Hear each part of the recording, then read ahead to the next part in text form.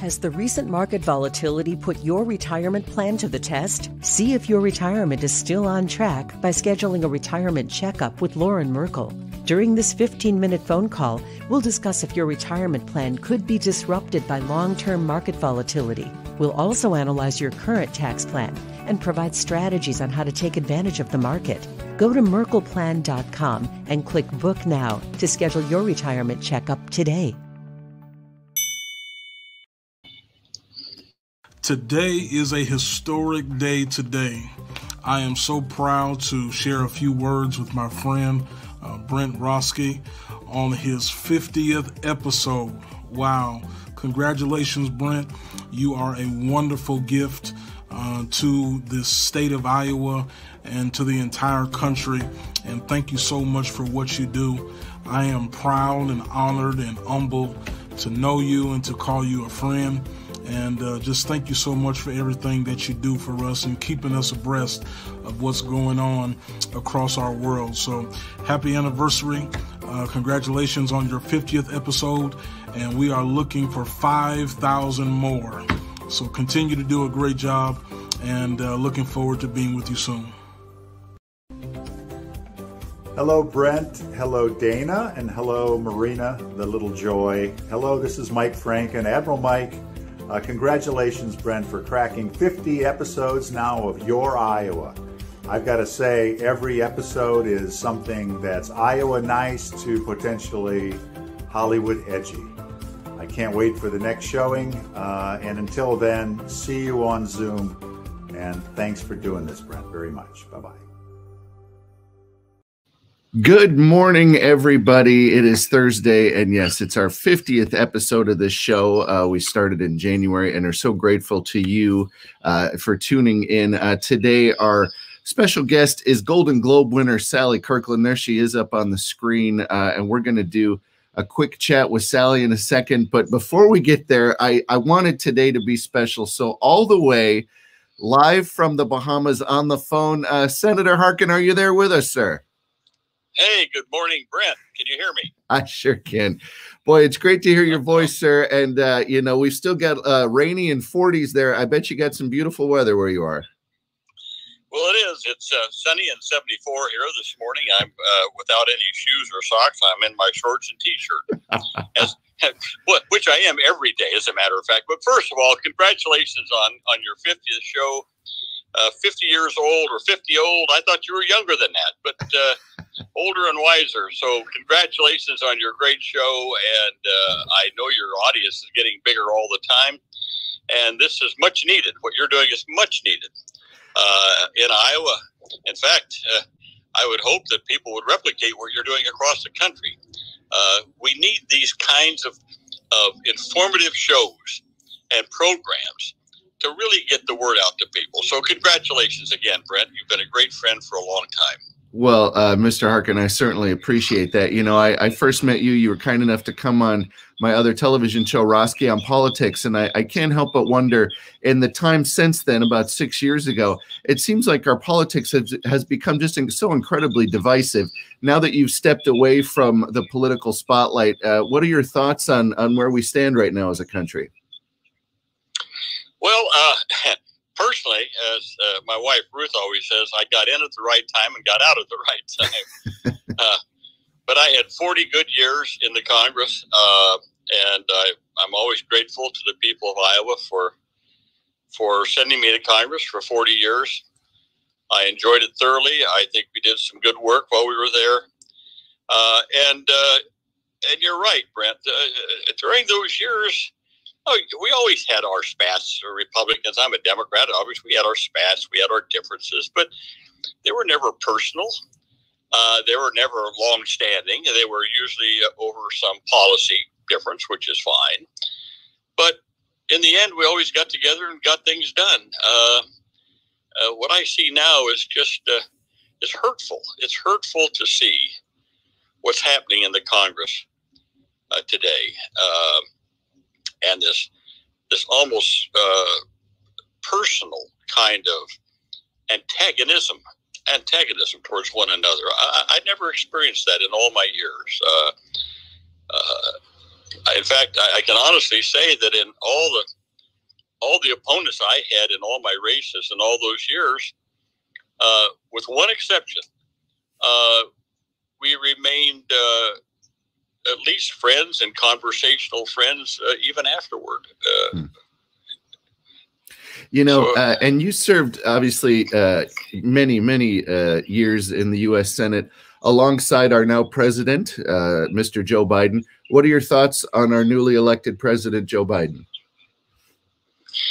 Well, I always said with Joe, what you see is what you get. he's uh, he's he's just a good guy. I, have never known anyone. This is honest, Brent. I've never known anyone that had a bad thing to say about Joe. Uh, sometimes, and this is just telling a little story out of school. Uh, we all have our Joe Biden stories, you know. Uh, but they're little quirks, little things. Nothing bad, of course. Just little idiosyncrasies that we all have. Uh, but I can tell you truly, he was well liked by all uh, that served with him, and Republicans included. Um, uh, I remember uh, for most of the years I was there, we had a, a, a room downstairs in the Capitol in which no one was allowed except senators, no spouses, no staff, uh, no guests. It's where we could go down and grab a quick bite to eat for lunch, like a sandwich or a bowl of soup or something quick. And uh, we'd sit around this big table, Republicans, Democrats. There was no division line there. And uh, tell stories. Joe Biden always had great stories to tell about uh, about Delaware, about his travels, and uh, and he'd get into it with uh, with some of the great storytellers uh, in the Senate, people like uh, Senator Bumpers from from Arkansas or Senator Heflin from Alabama, um, Pat Leahy from Vermont, who's still there, by the way. But anyway, I can tell you that Joe Biden is a truly good person. Uh, I've never known him to have a vindictive bone in his body. And uh, and finally, before I, I, let you get back to your island paradise, there, uh, do you have any do you have any final thoughts for our viewers? You know, uh, so many folks are just hooked on what seems to be uh, angry cable television uh, news right now, and and really figuring out ways to to hate our fellow Americans. Any any advice or, or words of wisdom for the for the American electorate?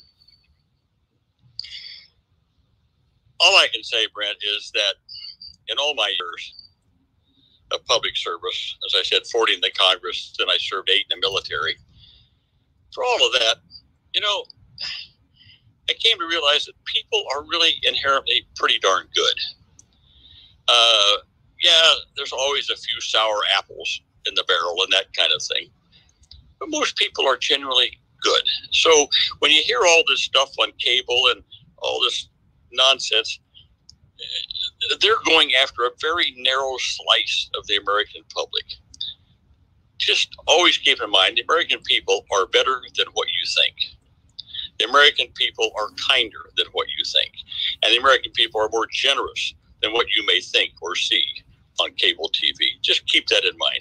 American people, by and large, are just pretty darn good uh, former U.S. Senator, Iowa legend, Tom Harkin from a small island in the Bahamas. Thank you very much, sir, for being on this special episode today. All right. Well, Brent, thank you, and uh, look forward to being on again sometime down the road. Give me a call. Uh, my pleasure, sir. And folks, we're going to play a couple more little uh, get well congratulation videos, uh, and we'll be right back. Hey, congratulations, Brent Roske, on 50 episodes of Your Iowa. It's not my Iowa it's your Iowa, and 50 is a great number. Not as good as 51, but still an excellent achievement. Congratulations, my friend. My friend Brent Roske, this is Doug Burns from the Carroll Times Herald. Uh, just popping online here to give you some congratulations on your 50th episode. Really impressive how you're able to promote Iowa and then also reach out and get some uh, terrific guests and interesting material, uh, not just from the United States, but really globally. So uh, thanks for what you're doing for Iowa. Uh, keep the interesting show going, and I'll look forward to popping on here again after the 100th one. Uh, thank you, uh, former Senator Tom Harkin. Literally uh, texted him and he said, "Well, I'm in the Bahamas, so we'll do it on as a phone call." He's uh, he is living the life that uh, someone has served his country uh, should be. So, well done, sir. Uh, we're going to play a quick ad, and then we got a full show for you, folks. We have got Golden Globe winner and Oscar nominee Sally Kirkland. Uh, there she is uh, from the Beverly Hills Hilton. a couple years ago, we went to an Oscar party. Uh, we are going to play an interview with her. She's going to tell you all about how she got nominated uh, for her Oscar, how she won the Golden Globe. Then we've got Brendan Kownacki live from Washington, D.C. We've got David Weaver uh, live from Iowa. And we've also got the amazing, the incomparable Gary Kroeger is going to chat with us. We got a big show today, 50 episodes. Uh, we'll be right back. School of Rock is now in session in Iowa, and we're ready to help make musicians. In our patented performance based program, students learn music in one on one lessons, then have band practice in a fun, safe learning environment, all leading up to their big show. Guitar, bass, piano, drums, and vocals, our local professionals teach the skills you need to be a rock star. Come check us out and get a free lesson with no strings attached. Locations in West Des Moines and Marion. Visit schoolofrock.com to learn more and start your musical journey today. Well, good morning. It is going to be a nicer day today. We've got a tiny chance of rain uh, in the morning. Otherwise, we could see some sun by the end of the day. The forecast uh, brought to you by Clear Mortgage today, and uh, hopefully, we'll see some clear skies again by the uh, end of the day today. So let's take a look at the forecast. Uh, a tiny chance of uh, some rain in the morning. otherwise, by noon, we should be at about 45 degrees and about 51 degrees by 4 p.m. So some improvement there. And then more improvement ahead. Friday's high 53 degrees with some sunshine. Now it is going to warm up Saturday and Sunday. It will, however, be breezy both Saturday and Sunday. Saturday's high will be around 58 degrees, 63 for a temperature there on Sunday. And then on Monday, Tuesday, and Wednesday, a chance for rain all three days, but fairly mild temperatures given the time of year 60 on Monday, 59 Tuesday, and 59, uh, 51 rather for a high temperature on Wednesday. Uh, folks, welcome back to the program, and huge thanks to uh, Jason Parkin uh, for those forecasts. And there he is, my perfectly matched brother, Gary Kroeger. Good morning, yeah, sir. How are I, you? why am I blurrier than you? yeah. I, am blurry. I do that on purpose. Everybody can't look as good as I do, so you're blurry well, it's good to be. You know, uh, Brent, I'm an early riser. I get up at five o'clock every day, but I I read and I write, and I don't look out the window. I didn't know it was still so dark. Yeah. I mean, there's light coming in, but there's still uh, uh, I'm using room light to illuminate myself here. Yeah, before before daylight savings, I was getting nice little sunrises, but we're back to yeah. uh, I'm just seeing a little pink in the sky right now. Uh, Gary Kroeger, where are you at there? You're up in the Cedar Rapids area? Well, I'll tell you where I'm not. I'm not in the Bahamas. yeah. I am yeah. up in Waterloo, and that forecast is encouraging that there might be some sunshine because it was 37 yesterday. And yeah. even though that in Iowa seems like a warm front, uh, it was chilly. And I, I'm ready for this to be over. Yeah, I mean, uh, former Senator Harkin, what a joy to have him on the program. But he, when he said, "Yeah, we'll just do a phone call because I'm in the Bahamas," I'm like, "Well, he wins. He wins yeah, all the time." But a guy, he deserves it. You know, he's he's 81 years old now. Uh, well, he's one of the people. Look, Brent, you and I have both dabbled in politics. We've we've run for office, and you know, when uh, we know the work that Senator Harkin did. And to hear him talk, first of all, it's just so refreshing to hear his voice. Yeah. But to share stories about Joe Biden. Yeah. You know, I worked with Joe Biden when he ran in 2007, and I saw him on the stump here when he ran this last time. And, and I have the same impression of him. You know, a very warm, engaging human being. I'm very proud of him as my president. But, you know, when you read the media mm-hmm. or if you dabble in social media, not everyone shares that, do they? so, Gary, this is fun. This is our first uh, time that you've been on this program. You've, you've been uh, you've been uh, very grateful and been on other shows of mine that I that I've put together.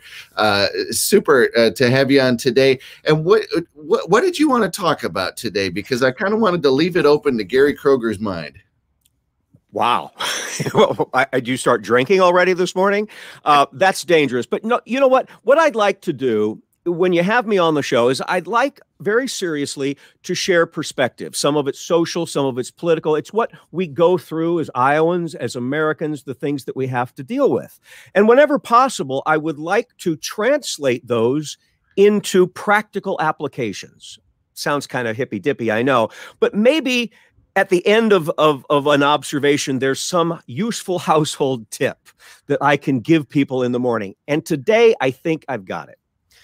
What has occurred to me, and it's interesting that we were you were talking with the senator, Senator Harkin, is the conflict in American dialogue. It's the um, the loggerheads that we reach when we have opposing views it's not only political, it has now infected our social conversations. No matter what it is we're talking about, it has become a for us or against us. You're 100% great or you're 100% a fool. I go onto social media, you know, all the time, Brent, and I like to sometimes stir the pot, but usually he was laughing, but usually I try to do it with a perspective that's that's open-minded. Well, I dabbled out there with a perspective on justice that I thought was pretty fair, and I was eviscerated, even by my peers, my colleagues, saying, "Kroeger, you've never been more wrong. You're you're an idiot." I mean, I was really beat up. Well, it's not just me. We see this happening everywhere, don't we? We see it happening everywhere where we don't know how to disagree anymore. We don't know how to have conflict. So I started studying conflict resolution. Well, interestingly, my wife is an expert at conflict resolution, which is probably why we're still married, right? but there are principles to conflict resolution. And there's two key principles. And I, seriously, take notes, folks. The first thing you have to do is acknowledge mutually that there is a conflict. And that's harder than it sounds, but you have to go, hey, wait a second we disagree, we're angry at each other, and we think less of each other over this issue. Let's acknowledge that there's a problem here. But then the really hard step is to explore the plausibility of that opposing problem. It creates a space in between the conflict that's safe to do research and not be judged. That's hard because some of the things that we disagree with, you're wrong, you're wrong, you're so wrong, you're this, you're that. Well, maybe they are, but give them the opportunity to listen. And you know what it reminded me of, Brent? It reminded me of my age old conflict in life folding a fitted sheet. I know that everyone watching just went, yes, fold. Well, here, I happen to have a sheet. I happen to have one right here. but but I want to equate this. Here, here I am with my thought. It's on the other side of this stretchy thing here is an opposing thought. But if you give it space, you can actually put together these two sides so that there's a compromise here. There's you're, you've still got your identity, you've still got your opposing ideas, but you found a place where it works. Well, you continue that, and I've been studying videos on folded sheets, so I'm actually sort of an expert now. you create a new straight line. There are other opposing ideas. Find the middle ground compromise, and now you have two ends fitted together, and they form a new right angle just like a regular sheet. Once again, you find the room to compromise, you bring them together, you follow the straight line to the other side where you've done the same thing. And lo and behold, just like I have here, you have a perfectly fitted sheet that will now fit nicely onto the shelf and leave room for more sheets. Yeah, that one looks a bit like mine does. Nice little balled up there. But yes, that. And what are you doing? I mean, I love this in that you know we're we're figuring out ways. Everybody needs the tools. Uh, to yes. you know, we're all negotiating now, and you're 100 percent right. Everyone thinks that knowing about politics 26 hours a day is so important now, and it's so important to have an opinion about it, etc. Folks, we've gotten this far without it. I say take a step back if you can. But uh, but boy, good for you. Yeah, uh, different ways you know, to negotiate. I love it. Take a step back and learn to fold a fitted sheet, ladies and gentlemen. Once you get there, it's such a satisfaction. You'll share it with your friends and you'll be so much happier. But you're right, Brent. We need to find the space to allow ourselves to live and cooperate and enjoy and not just be political lions. Uh, Gary Kroeger, former SNL cast member, former U.S. House candidate, amongst many other things. Uh, Gary, thanks so much for being on the show today, buddy. My pleasure. Happy 50th. Uh, thanks. Thank you so much, folks. A quick break. We'll be right back. There's a new spin on casual dining near Drake University. Lucky Horse Beer and Burgers. Craveable faves, flatbreads, delicious burgers, frozen cocktails, and crazy cool vibes. Get to Lucky Horse Beer and Burgers today.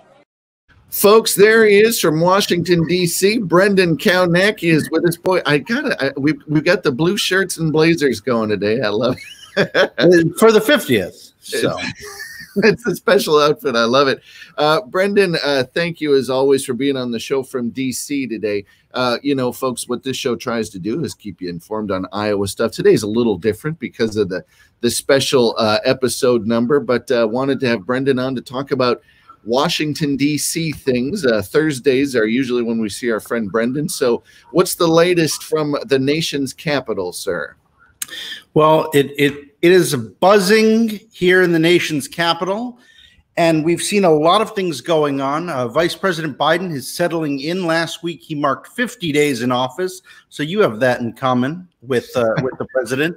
But right. you know, we're, we're starting to see a cabinet form. Merrick Garland confirmed as the Attorney General. Uh, Deb Haaland, former congressman from New Mexico, confirmed as the first Secretary of the Interior, who's a Native American a very big groundbreaking step for the United States to see a Native American uh, overseeing our public lands, which was really phenomenal. And of course, we've got big issues facing uh, across the board in the political sphere. We've got a border crisis brewing down at the southern border. We've got uh, plenty of arguments over the filibuster. It's starting to resemble uh, Mr. Smith Goes to Washington, if you ask me. And then, uh, of course, we've got all kinds of foreign affairs issues happening when it comes to our relationship with Russia and China and things like the Olympics, which are going to put uh, our diplomacy to the test. It's so interesting. You mentioned uh, uh, now Secretary Haaland uh, getting confirmed by the Senate, the first uh, Native American member of uh, the cabinet, which is fantastic. we love diversity. We love progress in those areas. But yeah, just a just a historic move right there. Yeah, you know, a lot of people are noting that she is now overseeing lands that were basically taken from her ancestors. So this is definitely a sign of progress for the United States. Uh, and uh, you know, uh, just a quick update today uh, from Brendan. But overall, uh, you know, we're 50 days into the administration. We're 50 shows into. thanks for drawing that parallel, Brendan. I appreciate that. But uh, what is uh, what is the overarching mood there in DC? Are are, are things uh, you know?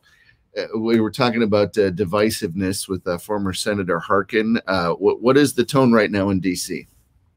The tone is optimistic, actually. And that's what uh, a lot of polls are starting to uncover that a lot of people are correlating the vaccine rollout with the approval of President Biden. They're saying that both are going pretty good.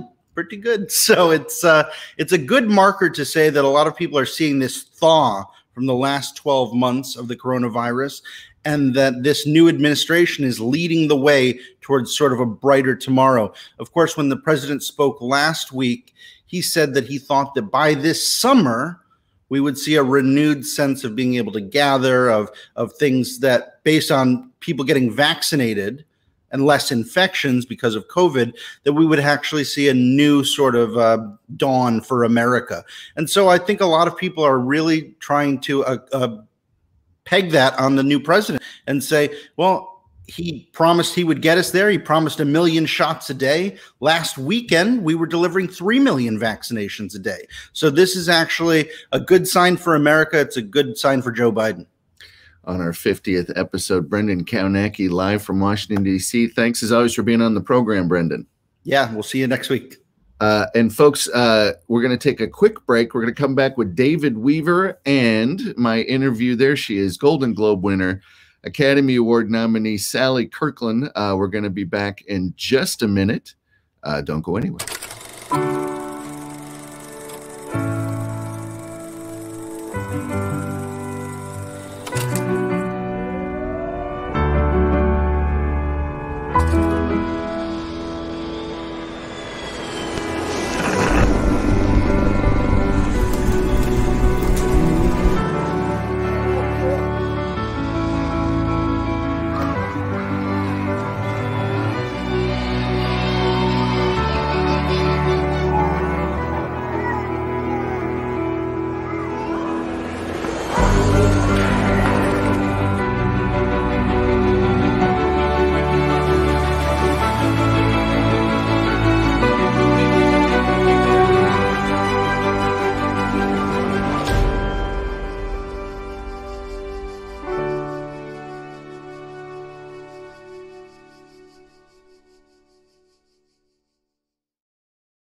Folks, welcome back to the program. A big day, our 50th episode. And I wanted to chat with, there's David Weaver. How are you this morning, sir?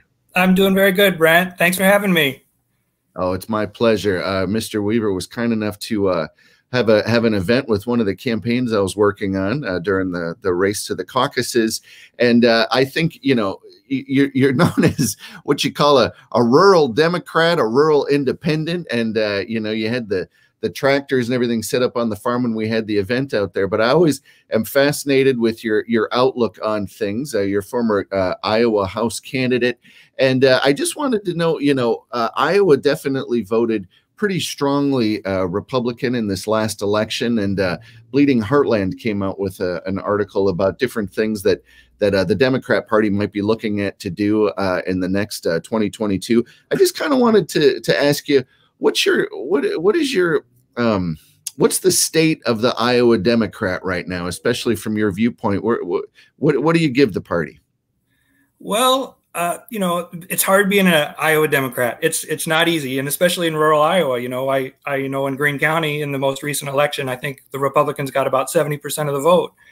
makes it really tough, and makes it tough to recruit candidates. Uh, you're more likely in Greene County to be an elected official if you're libertarian than you are if you're a Democrat. There's one more libertarian elected in Greene County, so it, it's tough. Um, but but I, I, will say this: uh, Biden winning has made a huge difference, and I really think it will. Um, we know the U.S. Senate is a very uh, rural uh, body and rural institution, but but with that COVID relief package that they got passed, um, I've been looking at that, and one of the most important things I see in that package is that we've got this child tax credit. And I'm going to give a lot of credit to Senator Michael Bennet and Senator Sherrod Brown. And, you know, I met both of them actually when they were out here. I met, uh, you know, sat in the basement with a farmer in Ankeny with Michael Bennet and uh, uh, Sherrod Brown came to the Perry Public Library. So I- I'm really impressed by the things that they've done. This child tax credit will be a huge thing for rural Iowa. And the reason I say that is that if you look at our school districts and the and the number of kids that are uh, eligible for uh, free and reduced lunches, it's a huge number. Uh, Perry is at 55%, Storm Lake's at 71%. And this child tax credit is going to give every family, starting in June, July, August, sometime around that time frame when they get it implemented for a year, every child, every family that has a child is going to get $300 for that child. So if you've got three or four kids at home, that's $900 or $1,200 a month that's going to come into your bank account from the government. It's it's similar to what uh, and, uh, Andrew Yang was talking about, but I think it's even more focused and better. Uh, I got to give a lot of credit to Biden. I know your your previous guest talked about how uh, the vaccine rollout's going, and you know I I it's hard to be a, a Democrat in rural Iowa, but I'm I'm very uh, excited about the administration. So, you know, I grew up in Minnesota and they would call it the DFL party, a Democrat Farm Labor Party. And it seems like that that gap has widened. People don't necessarily think of farmers as Democrats anymore. They don't think of the Democrat Party as necessarily the party of of the working class and i'm wondering you know do you agree with that uh, it, it, seems to me that that is that is what's keeping at least uh, uh, iowa folks uh, from getting elected to the state house here I I try to be very careful when I say farmer and I say rural. Rural is a little different than being a farmer. Uh, I'm a farmer and I've been doing that for a living for almost 15, almost 20 years. Um, farmers love Trump. You can't go out around here in this area without seeing a tractor or a planter or a combine with the Trump flag. And I drive 10 or 20 miles in any direction and Trump, there are still Trump flags up. You know, it's, it's March and there are still Trump flags. They're a little tattered, but they're the, the owners are, are, are waving them. Um, I, but but rural, rural's a little different. Um, Trump in in you know in October, right before during the election, every farmer got thirty or forty dollars an acre, a big old check from the U.S. government. Farmers respond like most most people do to uh, to money, and it was just a straight up handout. Uh, it's sad. I don't believe in it. I think you know since October, the price of beans have gone up four dollars. Um, the price of corn's gone up $2. That's going to make a big difference. And I, I hope farmers recognize that a lot of that has to do with policies, trade towards China, and uh, how we regulate the ethanol industry. And Biden is favorable and much, much better on both of those issues. So we'll see. It'll be interesting. Uh, we've got a couple big elections coming up here uh, in the state. You've got the governor's race, and you've got uh, Senator Grassley. it's possible that he won't uh, be running for reelection, or even if he does, those are going to be uh, two very big races. The last Senate race between Joni Ernst and Theresa Greenfield is one of the most expensive in, in U.S. history. Uh, what are you What are you seeing right now as far as candidates, folks maybe putting their hand up to run? What are you thinking about those races? Well, it's you know it's been interesting. you know we we had uh, Admiral Franken out to our home, and um, I think Rob Sand is an excellent candidate if he chooses to run for one of those two spots. Um, we have some really really good candidates, and I, I really enjoyed meeting uh, Kimberly Graham. I think she uh, she's quite quite progressive and quite a quite an excellent speaker, and she's got a really good head on her shoulders. I think she would do do very well in a statewide race.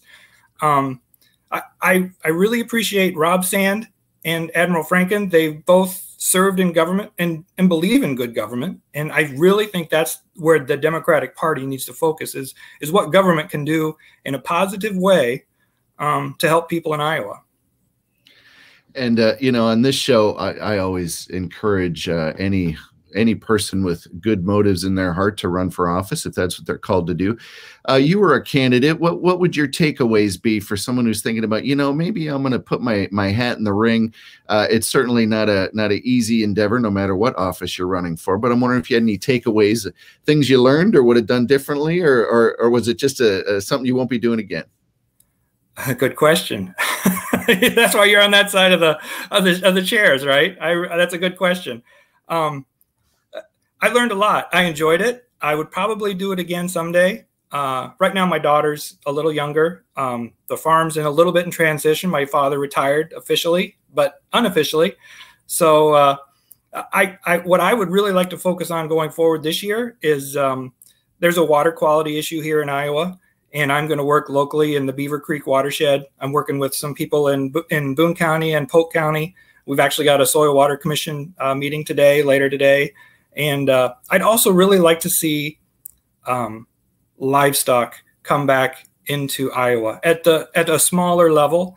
Um, the the biggest problem we have in Iowa is livestock farmers have a very difficult time making money, and that's because Tyson um, runs and these packing plants have so much ownership. You know these hog barns that are going up in Iowa and still go up. Um, the the the farmers don't, actually don't own the hogs, and so they don't have the profit. Um, they're they're they own the buildings and they're getting paid uh, a regular fee to to use those buildings, but the profit isn't there. So most of our profits leaving Iowa because of what some you know the government's doing, and I think we need to do a better job regulating these big uh, monopolies like Tyson. Interesting. Well, David Weaver would love to have you uh, come back on the program, get into more detail about that in the future. And thank you so much uh, for being on today. A very special episode for us. Thanks, Brent. I, I, I just got to tell you, I love what you do. I think you've got the right combination of entertainment and uh, civics and uh, populism. I, I've really been a fan of yours for a long time, and it was a, a great to welcome you out to the farm. I appreciate it. Well, the, the, the check for that is in the mail. No, I'm just kidding. Uh, thank you very much, David. It's always great to see and hear your voice. And uh, folks, we'll take a quick break. We'll be right back. Has the Thanks, recent sir. market volatility put your retirement plan to the test? See if your retirement is still on track by scheduling a retirement checkup with Lauren Merkel. During this 15 minute phone call, we'll discuss if your retirement plan could be disrupted by long term market volatility. We'll also analyze your current tax plan and provide strategies on how to take advantage of the market. Go to merkelplan.com and click Book Now to schedule your retirement checkup today fortune of working with uh, Miss Kirkland on uh, two different projects. We had one that I thought for sure was going to get another Oscar nomination for you. Uh, but one of my favorite stories that you have, and you have many, many, but one of my favorite is when you were at the Cannes Film Festival and you were hustling up reporters to go have them see Anna. Why don't you tell people just what it took, how much work, not only your amazing performance, but how you got the role and how it went on to getting you a Golden Globe and an Oscar nomination? Anna was a a, an independent film made in New York about a Czechoslovakian actress who could not get arrested in New York um, acting because she has such a heavy Czech accent. For instance, my name is Anna Rokova. I come from Prague, Czechoslovakia. What you want? I don't want to talk about my personal life. You give me the script, I act. I've been acting for 25 years. And then um, what what happened was the director Yurek Bogayevicz uh, did not. There was a real life Polish actress named Elżbieta something that this was written about by Agnieszka Holland, who who won many awards, Golden Globe, etc., for her work, and um, they didn't want Elżbieta to play this, so they changed it from Poland to Czechoslovakia, and they put it out in breakdowns. They were looking for someone who could do um, first it was a Polish accent, and then it became a Czech accent. And I told my manager, "How much time do I have?" And he said, two weeks." And I said, "Tell him I'll I'll, I'll go for it." So I um, I went to the library in New York. I got various tapes. I um, I listened to Meryl Streep in the Sophie's Choice. I um, I ended up combining German with Hindu, if you can believe that and out came my accent. And then I would get into taxis in New York and I would see that they came from the old country and I would test out my accent. And they would talk to me like I was Eastern European. And I thought that was great. And I went to the Heidelberg Bar on 86th Street and Third Avenue, wherever it is in New York. And I would talk like my name is Anna, and everybody from Hungary or Poland or Czechoslovakia, whatnot, would talk to me. So I thought, well, I'm in good shape. So I went to the first audition, and Yurek Bogayevicz didn't like me. So I was heartbroken, and I began sending him letters and flowers and whatnot. And eventually, I had a second audition, and he still didn't like me. And then he called me for a third audition, and I was on my way to Australia to teach 100 people insight acting workshop, which they had signed up for some months before. And I didn't want to break their hearts. So I was at the airport ready to get on the plane to go to Sydney. And I get this call York Bogayevicz wants to see you tomorrow. And um, I said, I can't do it. I, I promised these people it was a chance I took, a gamble. Um, and he said, Well, you say you want this part. And I said, Well, if he really wants to see me, ask him if he'll wait a week. I'll be back in a week from Australia.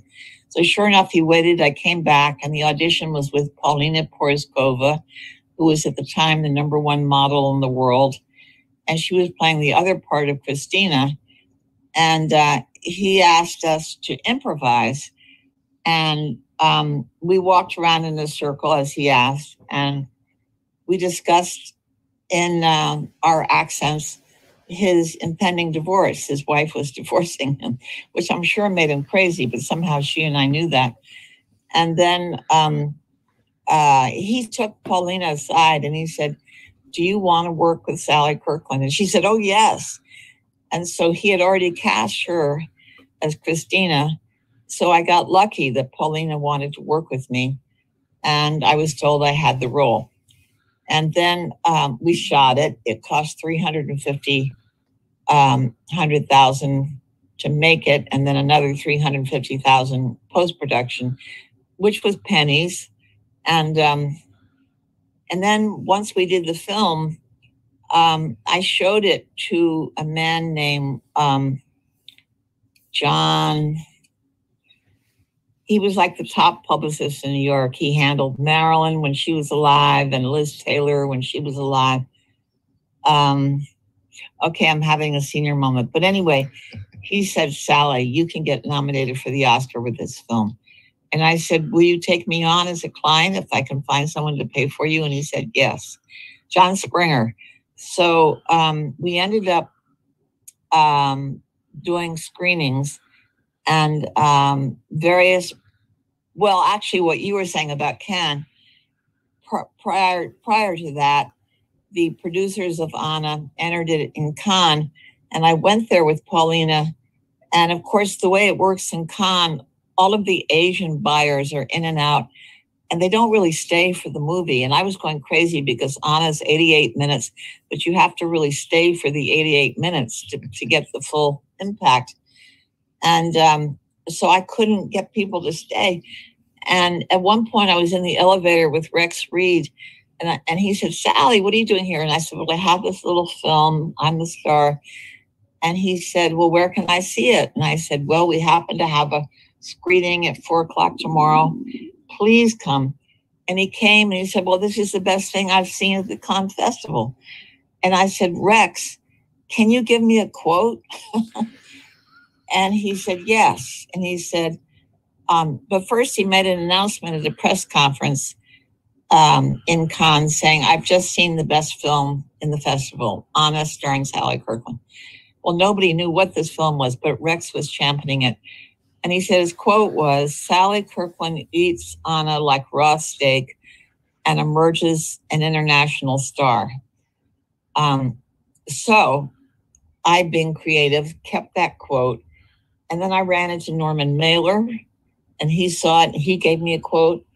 And then I ran into at the Mill Valley Film Festival, Sheila Benson, who was the film critic for the LA Times. She flipped out over it. She gave me a quote, but she said, You can't use it now. We have to wait till it opens, and then I'll write about you. But she did allow me to use it at a certain date. So I was gathering all these quotes, and I went to the Screen Actors Guild after federal credit union and I took out a loan for $7,000, which is as much as you could get for $50. And I took out the back page of Weekly Variety with all of these quotes and a picture of me and Paulina. And people were like, What is this? And this man named David Buntsman happened to see it, and he was a millionaire. And he went, he called, he was a friend of my manager, and he called and said, Tell me about this woman. And Richard Rosenwald said, Well, she has this film, but she doesn't have any money to promote it. And he said, Well, I will help her. So we got together, had lunch, and he said, Look, I would like to meet everybody in show business, and I'd like you to go to Europe with me. And I said, Well, David, I have a boyfriend. I can't go to Europe with you. And he said, No, no, no, no. You'll have your own suite, and I'll have my own suite, and we'll go to Paris. And then we'll come back. And if you could take me to the Hollywood parties, in return, I will pay for John Springer and another man in, in Hollywood named, um, oh, come on, Sally, um, Dale Olson, who is my Los Angeles. So I had Los Angeles and New York covered by these two amazing men. And thus began my Oscar campaign. So, whatever they told me to do, I showed up on every TV show, every radio show, every written interview. And um, I would go to Variety and I would say, when are the studios taking out their ads? And they would say, on such and such a date. And I would say, well, can you put my ad the day before and the day after? So they worked with me. They, they saw Dark Horse. And um, I would design these amazing ads with more and more and more quotes. At one point, Martin Scorsese asked me how I got nominated, and he said, Martin, forget the photographs, forget the stills, just do quotes. I told Kevin Costner the same thing for um, Dances with Wolves. So Marty Landau, Diane Ladd, everyone was coming to me to find out how to do an Oscar campaign, and I was like holding court. So I'll give you a quickie. When I received the Golden Globe for Anna, mm-hmm. I was standing outside waiting for my limousine, and Gena Rowlands was standing next to me waiting for hers And she said, Sally, congratulations. And I said, Oh, did you vote for me? And she said, Yes. But I have to tell you, I didn't see the film. I'm so sorry. But I voted for you because of your Oscar campaign. so that was sort of what was going on, and it made the history books. If you look up Sally Kirkland on in 1987, it's been written up in various Hollywood history books as um, this extraordinary campaign that I did by myself. La, da, da, da,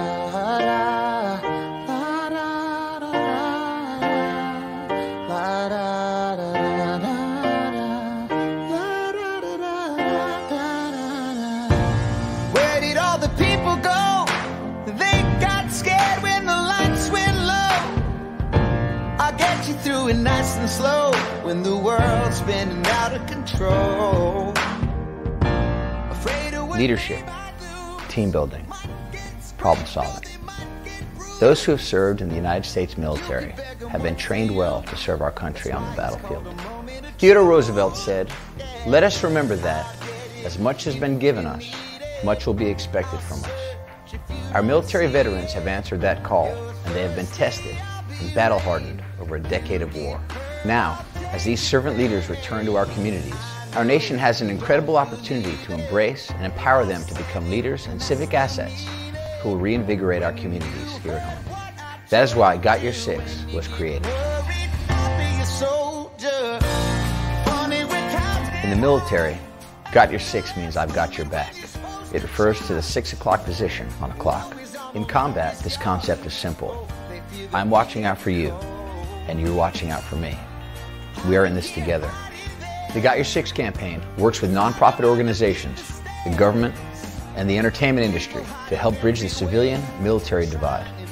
As a way to demonstrate that veterans are leaders and civic assets, Got Your Six and its partners have set audacious goals as part of the six pillars of veteran reintegration. The progress has been astounding. In the first year alone, over 10,000 homeless veterans were housed. More than 100,000 jobs were filled, and millions of hours of service were performed by veterans.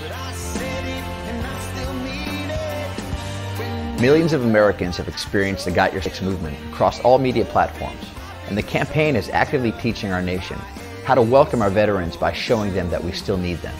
The 60 second Got Your Six PSA, featuring Hollywood heavyweights Tom Hanks, Alec Baldwin, Bradley Cooper, Sarah Jessica Parker, and many others, has been seen by tens of millions of people on dozens of network and cable channels.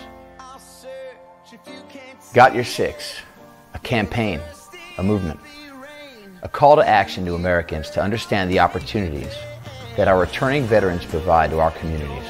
Log on now to gotyoursix.org to show your support and learn how you can help out. I'm Gavin DeGraw. Thank you for watching.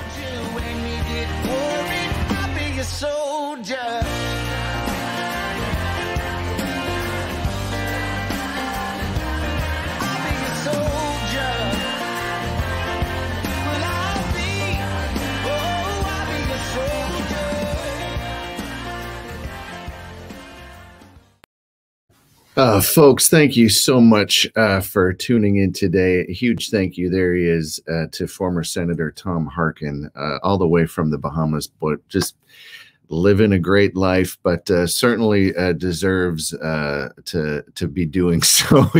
I'm in shorts and no shoes on, he says. so huge thanks to Mr. Harkin. He's always been a a friend to me and a, and a supporter of what I'm doing. So thank you, sir. and thank you, folks, for watching. So uh, I started this program uh, January 1st. And, uh, you know, people are wondering why do you do it so early in the morning? And, and, um, you know, I created this show uh, for a very, uh, a very small audience. Actually, it's just one person and it's her. So our little one, uh, she's not quite three yet, and she has some developmental hurdles that some other kiddos don't have.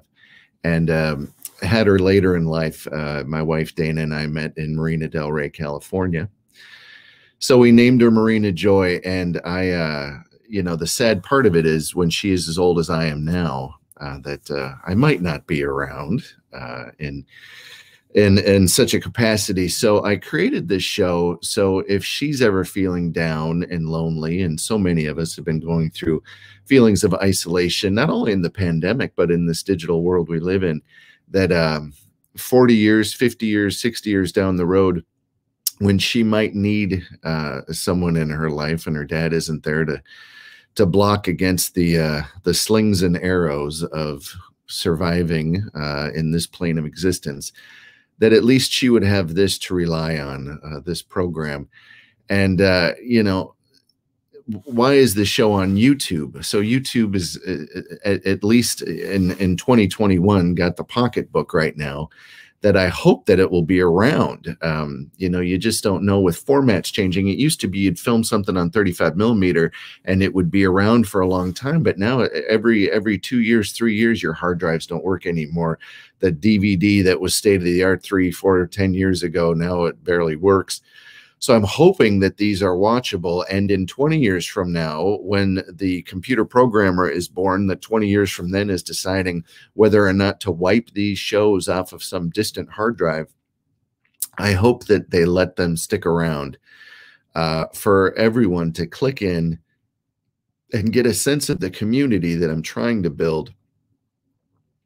Uh, but really, this was uh, me reaching through the digital tunnel of time uh, and saying hello many years from now uh, to our little Marina Joy, and she can sit down and watch her dad have a conversation with folks that wanted to be here. And you know, in in each of our our small ways, we're just trying to talk about bringing people together, uh, creating community, solving problems, and trying to make uh, people's lives just a little better so that's why I created the show.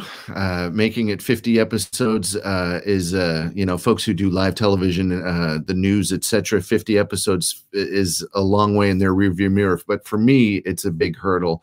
And I'm so grateful to you for tuning in. I'm incredibly grateful to our guests, our incredibly generous guests, uh, for being a part of this show, including today's guest. There she is, uh, Golden Globe winner, Oscar nominee Sally Kirkland uh, Sally and I, uh, she's been in a couple projects. Uh, we did Courting Des Moines, where she actually co-stars in a scene uh, with Tom Harkin.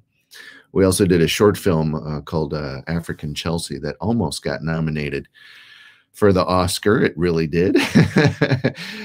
next week, I've got Matt Del Negro coming on. There he is, co-starring in Showtime's program City on a Hill. I got to know Matt from our pro program right there called Chasing the Hill uh, Matt will be on next week uh, talking about that program. And if you missed Friday, there's CJ Perry co starring with Bruce Willis in the new movie Cosmic Sin. It is out right now. Uh, check it out. It's a, a fun sci fi thriller. Tomorrow we've got Brandon Est is on the program, has just made an incredible Iowa film called Inheritance, and it is beautiful. It is, it's a bit like um, Terrence Malick. Uh, it's uh, it's fantastic. It's it's a film. We're going to show a clip of it tomorrow. Uh, I didn't even show the opening of the show today because uh, I'm just so grateful to all the folks who sent in videos, who sent in um, just congratulations about getting this far. Folks, it's just the beginning, and um, I'll see you tomorrow morning.